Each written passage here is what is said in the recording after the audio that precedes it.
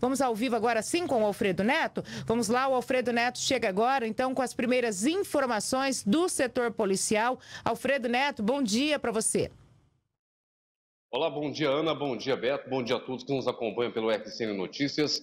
Ana, vou começar falando do SIG, o setor de investigações gerais da Polícia Civil, que ontem efetuou a prisão de um rapaz de 37 anos, um homem de 37 anos, que estava passando a perna no patrão.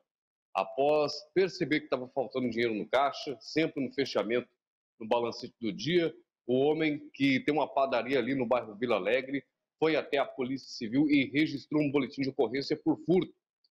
O local tinha câmeras de segurança de circuito interno e esse empresário levou as imagens. Ali no trabalho mais apurado, mais delicado, os investigadores perceberam o momento em que o funcionário de 37 anos conseguia, conseguia tirar uma célula, uma cédula de dinheiro ou outra, disfarçando ali, tentando passar desapercebido nas câmeras de circuito interno. Ao perceber que era o funcionário que estava desviando o dinheiro dessa empresa, a Polícia Civil, setor de investigações gerais, foi até a casa do homem de 37 anos lá no bairro Vila Piloto. Ao chegar lá, os policiais, enquanto batia palma, chamava esse trabalhador para conversar, acabou descobrindo que o mesmo tinha uma espingarda calibre 38.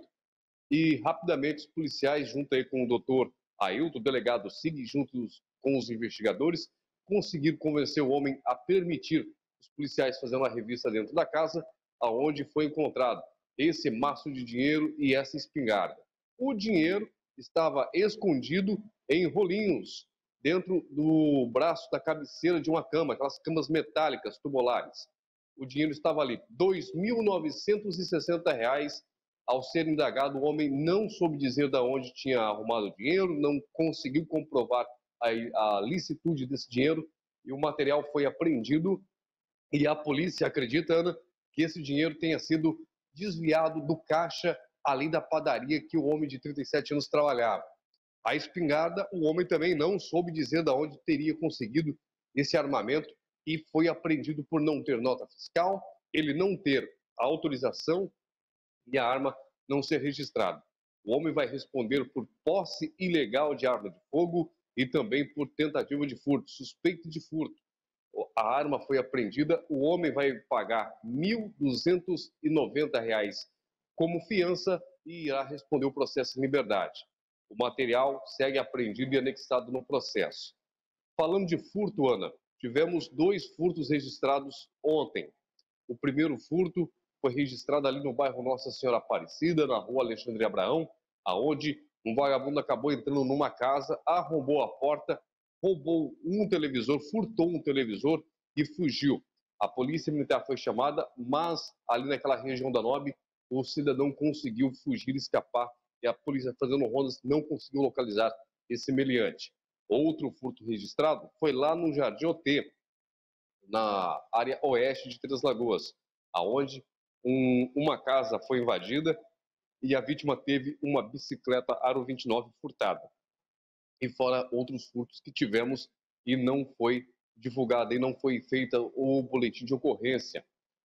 Um que terminou registrado como furto, mas é uma pendenga aí familiar é um relacionamento entre um homem de 35 anos e uma mulher de 18 anos, que há dois anos e meio mantiveram um relacionamento e há cerca de três meses estão separados. O homem, rotineiramente, chama a polícia para a ex-mulher por conta das agressões que ela pratica e as ameaças. Segundo ele, direta todos os dias, frequentemente, a mulher vai até a casa dele, deixa a criança sem avisar, vai para a rua e volta agressiva na hora de pegar a criança e levar para casa dela. Na data de ontem, a mulher teria pego uma faca, ameaçado ele de morte e furtado alguns mantimentos da casa dele e alguns pertences pessoais dele. O homem foi até a delegacia, registrou o boletim de ocorrência e a Polícia Civil, a primeira DP, vai investigar esse caso que aconteceu lá no bairro Paranapungá, na data de ontem, por volta das 8h30 da noite. Ana, daqui a pouco eu volto para falar de acidente de trânsito ocorrido nas rodovias federais aqui de Três Lagoas.